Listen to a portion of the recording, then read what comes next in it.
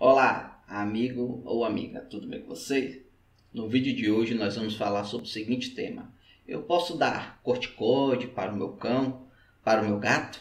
Então, fique até o final desse vídeo para você entender esse assunto. E eu também quero aproveitar e lhe convidar para poder participar das minhas outras redes sociais, como o Instagram, o Facebook e também eu tenho um Twitter também agora. E eu estou formando também um grupo no Telegram, se você tem interesse em participar, tanto você quanto outras pessoas que gostam de cães e gostam de gato, né? Eu vou deixar o link aqui abaixo. Belezinha? Então bora lá. Bora falar sobre esse vídeo. Roda a vinheta.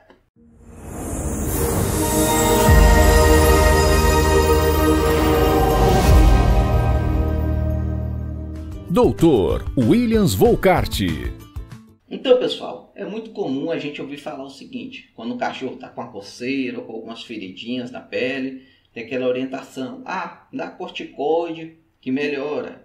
Por quê? O corticoide é um anti-inflamatório, então ele vai combater a inflamação, vai combater o prurido, né? minimizando assim a coceira do animal. E sem falar que é um medicamento muito barato. Mas será que essa prática realmente ela acaba sendo legal para o animal? É bom Toda vez que o animal estiver ali coçando, tiver com aquelas feridinhas, você chega, dá um corticóide, pronto, resolve o problema e acabou. Então, vamos discutir sobre isso, porque às vezes pode acabar realmente resolvendo o problema, mas nem sempre vai ser a solução definitiva. Então, como eu falei para vocês, o corticoide se trata de um anti-inflamatório e é um anti-inflamatório potente ele acaba realmente resolvendo alguns problemas de coceira, prurido, rápido. E ele é fácil de encontrar, né? Vocês podem encontrar em casas agropecuárias, assim também como farmácias humanas, na fórmula de prednisona, na fórmula de dexametasona, entre outros. Então isso é o que acaba facilitando com que muitas pessoas acabem utilizando ele para resolver é, esse problema. Mas o que acontece, gente? É, ele pode, naquele momento, dar uma aliviada. Ah, o animal está coçando muito, dá o corticoide, ele alivia. Mas como eu disse, ele pode resolver o problema, mas naquele momento. No entanto, não vai ser a solução. Por quê? É, a coceira ela é um sintoma. Mas o que está causando essa coceira? Tem que descobrir a causa. Porque a coceira pode ser através de sarna, pode ser através de bactérias, pode ser através de fungos, né? A sarna, né, que vai acabar causando que é as doenças, né, como escabiose e demodicose. Temos também é, as bactérias que causam as dermatites bacterianas. Temos os fungos que causam as dermatofitoses.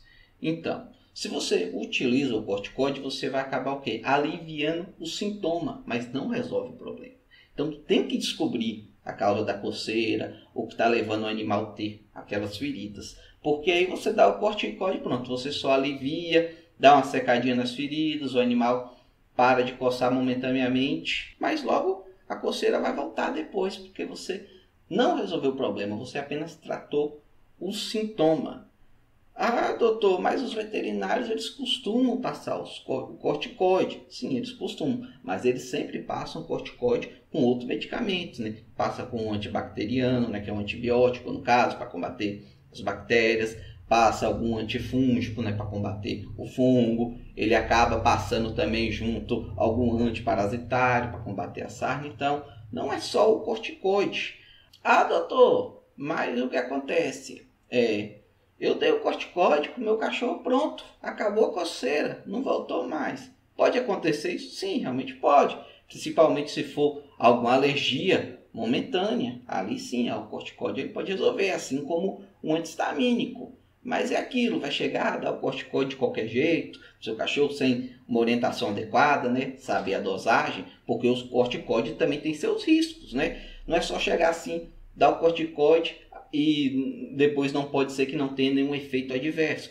Pois o corticoide, quando ele é mal administrado, pode sim ter alguns efeitos adversos. Por exemplo, se der uma dose muito alta, o animal ele pode ter depois alguns problemas metabólicos por exemplo, doenças como o próprio hipotiroidismo surge de doses inadequadas de corticoide. E tem outra questão, quando você entra com corticoide com o animal, não é simplesmente dar o, o corticoide, melhorou e pronto, acabou.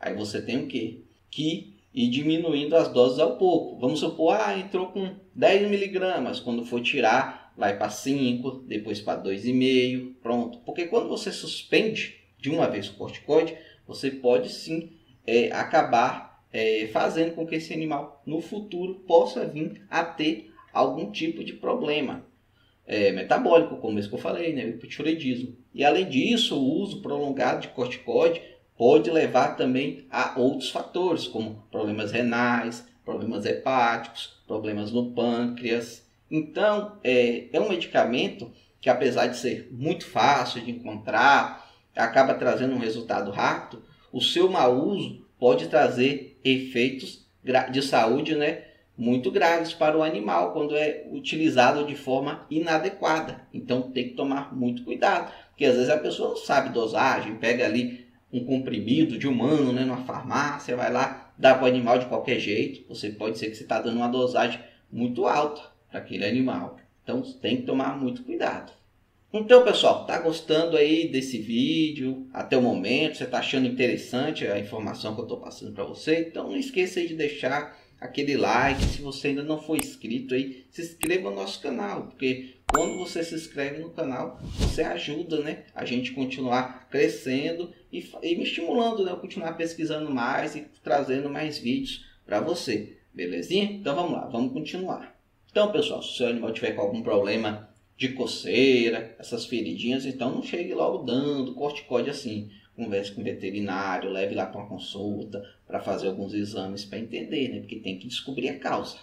Porque não adianta simplesmente dar um corticóide sem tratar a causa, porque não vai resolver o problema e você pode estar tá fazendo com que o seu animal venha a desenvolver problemas de saúde no futuro. Mas é isso aí. E aí, você gostou do vídeo? Você achou interessante a mensagem? Comente abaixo aí algum caso que você já tenha é, passado, né? Algum, alguma vez você já deu corticóide para o seu animal. Explique aqui abaixo nos comentários as razões aqui para a gente atender. Fique à vontade. Belezinha? Então é isso aí, pessoal. Espero que você tenha gostado aí do nosso vídeo. Eu vou deixar aqui no final alguns outros vídeos onde eu falo sobre questões também de uso de medicamentos.